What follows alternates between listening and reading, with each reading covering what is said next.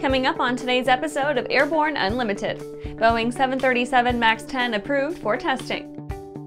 Mount Rushmore helicopter tours restricted to half a mile. SpaceX updates details about Starship IFT 2 test launch.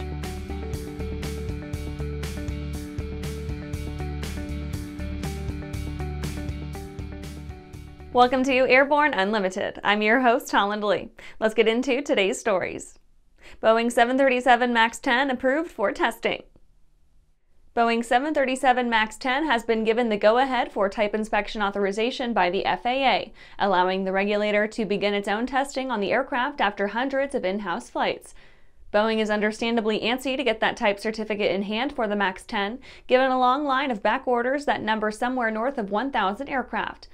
The MAX 10's development timeline suffered badly at the hands of the 737 MAX debacle, being grounded after some highly visible crashes and a continued subject of congressional humming and hawing.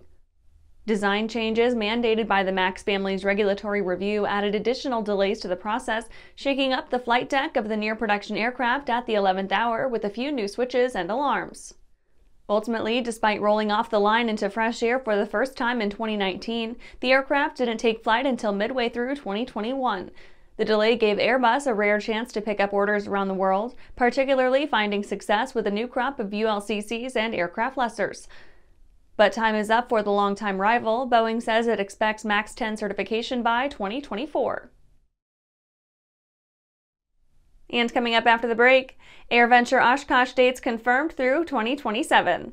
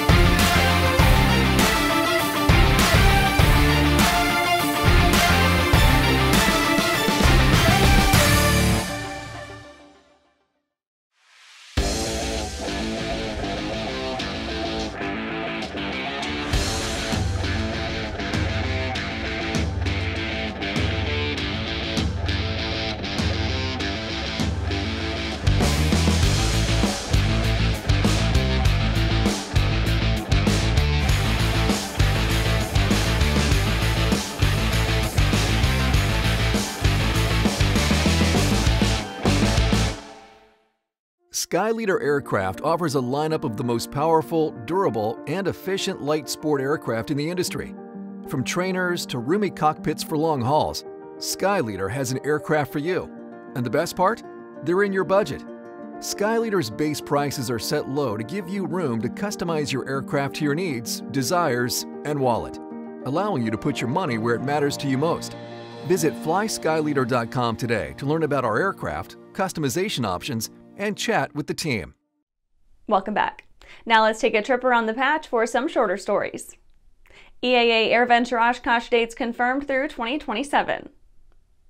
EAA has released dates for the next four AirVenture schedules, and as usual, the ANN gang will be there to cover it all for you. The current schedule for EAA AirVenture Oshkosh at Wittman Regional Airport in Oshkosh, Wisconsin has been confirmed through 2027. EAA's annual fly-in convention has been held since 1953 and has occurred in Oshkosh since 1970. Upcoming event dates are July 22nd through 28th, 2024, July 21st through 27th, 2025, July 20th through 26, 2026, and July 26th through August 1st, 2027. Liberty University adds 16 more Cessna Skyhawks. Textron Aviation has reached an agreement with Liberty University for the purchase of 16 Cessna Skyhawks to be delivered beginning in 2026. The aircraft will add to Liberty University's existing fleet of 24 Skyhawks to ensure that the university's students receive the highest quality pilot training aircraft available. Since the 172 first took flight in 1955, over 45,000 Cessna 172 aircraft have been delivered to customers around the world. FAA review finds inadequate ATC staffing around the country. The FAA's National Airspace System Safety Review Team issued its report into recent snafus involving aircraft and the public eye, and the National Association of Air Traffic Controllers feels quite vindicated. The NATCA was glad to read that staffing issues, a longtime point of contention they've had with the FAA, were found to be a large part of recent problems. A shortfall of qualified tower personnel was found to be, quote, eroding the margin of safety and injecting risk into the system, end quote. The SRT urged action to, quote, urgently address this staffing crisis, end quote. Stratolaunch aims for commercialized hypersonics. Stratolaunch LLC has continued its efforts to develop a Mach 5 capable aircraft, helped along by a familiarly Rutan-esque design in the form of scaled composites ROC. Stratolaunch let slip that they plan to test out their first prototype, the TA-1, before 2024. Another, TA-2, is scheduled for launch early in 2024 to prove the design can autonomously guide itself to a safe landing at Vandenberg AFB. The Talon series of aircraft will be just as reusable, saving millions over the life cycle of hypersonic tests. Well, that's it for today's trip around the patch. Let's get back to the rest of the news. Mount Rushmore helicopter tour is restricted to half a mile.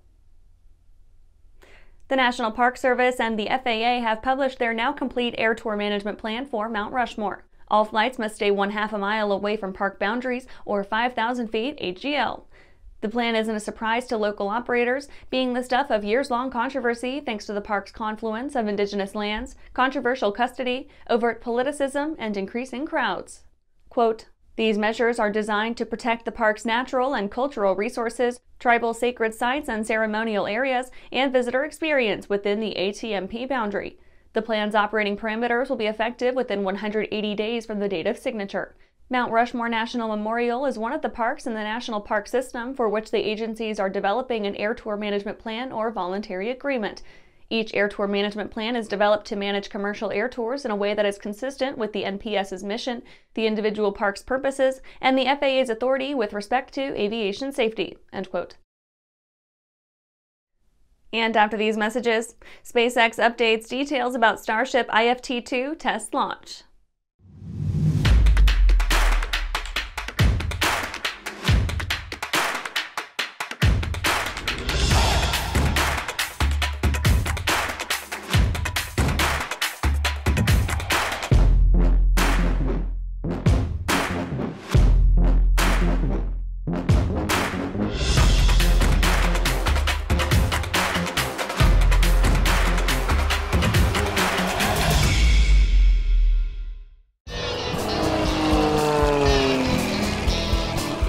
A lot of places I get to at the end of the runway or in turnarounds that I need an engine running.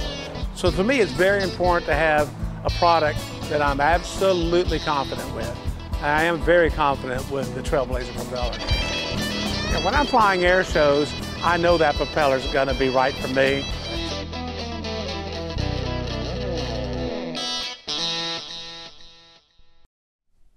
Welcome back. SpaceX updates details about Starship IFT-2 test launch. SpaceX is releasing a few tentative details about the recent IFT-2 Starship test. On November 18, 2023, Starship successfully lifted off at 7.02 a.m. Central Time from Starbase in Texas and achieved a number of major milestones.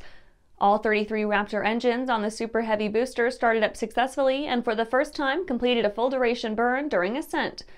Starship executed a successful hot stage separation and successfully ignited the six second stage Raptor engines before separating the vehicles.